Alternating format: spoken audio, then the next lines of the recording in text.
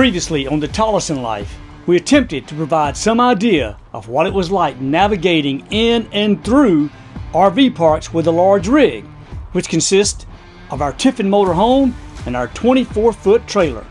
Today's video is part two of traveling with a big rig as we answered yet another question by many of our subscribers, which is how do we handle RV parks that cannot accommodate both the motorhome and trailer as a combined unit? Yeah, that's right. Hey, if this is your first time here, our channel is about RV travel and some pretty cool motorcycle rides. So Yep. if that's something that might interest you, we hope you'll smash that subscribe button right here so you won't miss future videos.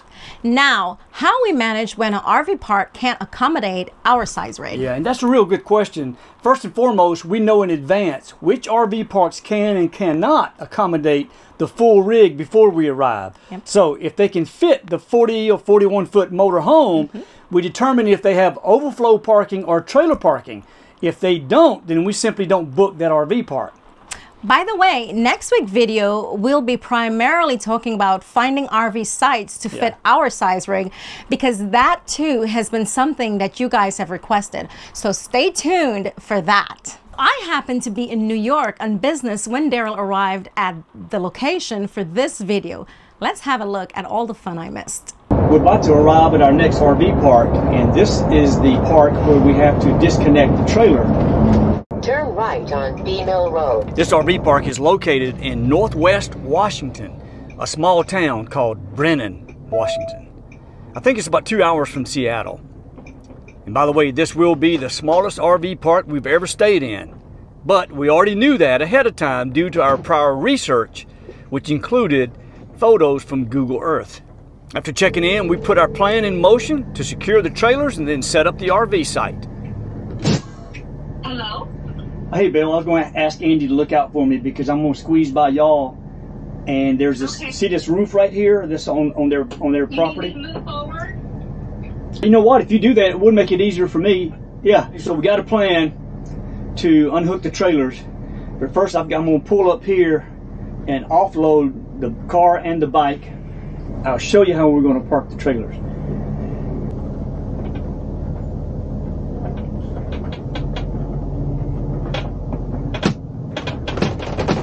Got to take our time, no rush. And what you see in front of me is really just about the entire size of the park. It only has 25 sites, all back in. You're gonna have to make this turn afterwards,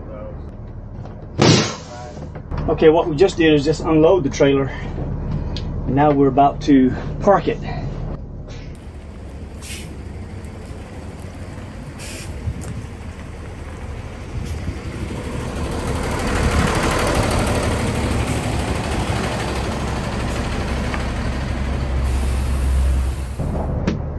All right.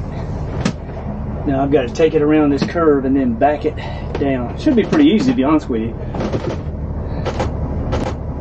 I should have never said that. Swing it wide right here, and then hard right.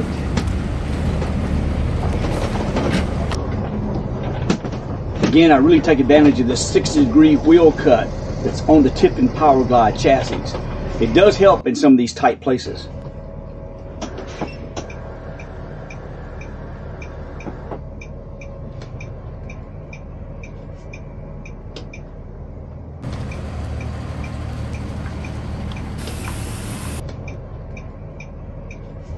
Now I'm just going to pull forward in order to straighten up.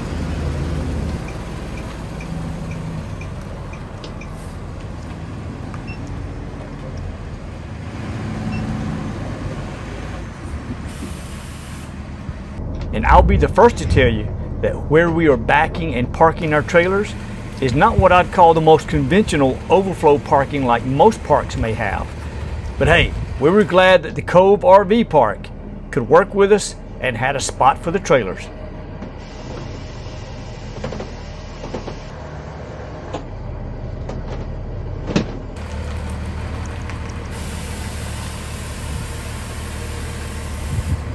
I know this is slow go, sort of like watching molasses flow in the winter.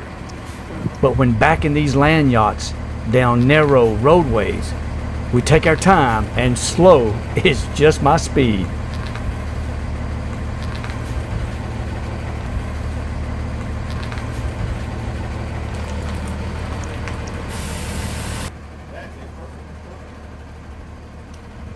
Oh, and in my opinion, having a spotter is crucial for this undertaking. Again, it's not hard. Just don't allow yourself to get in a hurry, and the more eyes you have watching, the better.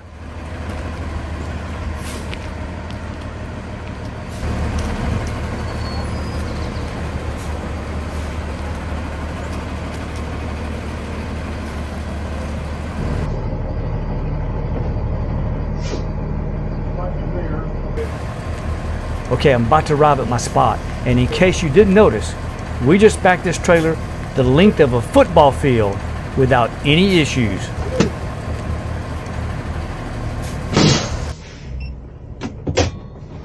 Up here in these mountains and these hills is where the fugitive uh, Johnny Rambo is hiding out. Looks just like the movie, does it not? It does. Look at those mountains. I gotta get in closer to that. And now we'll chalk the wheels and then disconnect the trailer.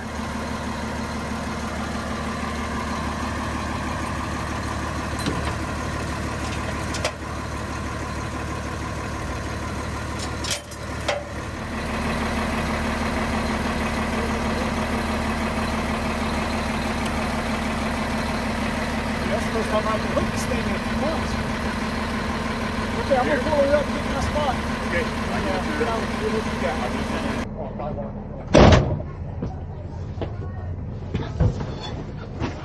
All that remains now is setting up the RV in my designated site. And then we're going to give you some bonus video by watching Andy and Belle back and park their trailer in the same area.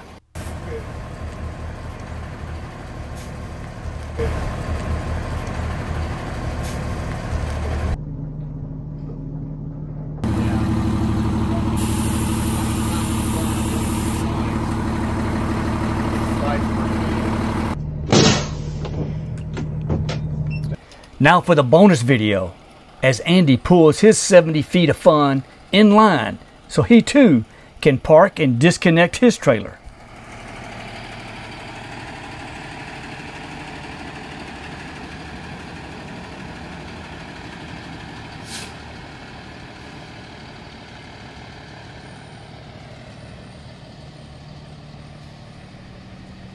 Andy's wife Belle acts as his spotter.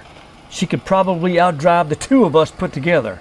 She holds a CDL license and drove 18 wheelers for over a decade before retiring.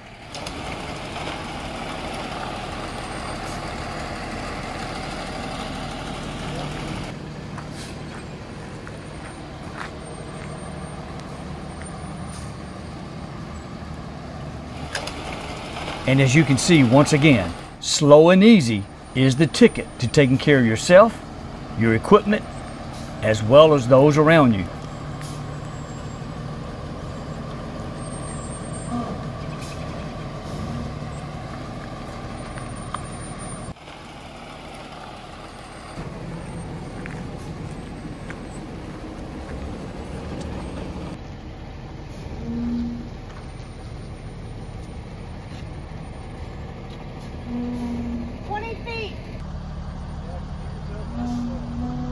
Once the trailer's in place, chalk the wheels and disconnect the trailer.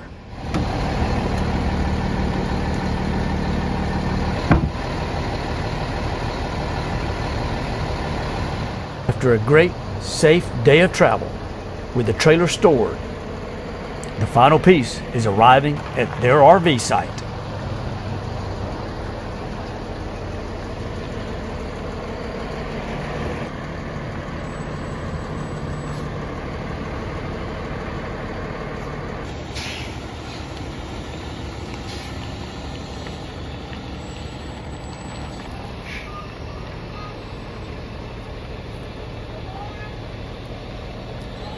sorry I missed out yeah. on all the fun. Yeah, you know, I hear you, but it really wasn't that big of a deal. You know, we took our time, we did what we needed to do in order to take care of our equipment, and therefore everything really went according to plan. Well, we hope the video provided some insight and answered the question on how we handle a big RV in a small RV park. So to see more video, click the one on your screen. Hope to see you there. Until next time, be, be well, well, and stay, stay safe. safe.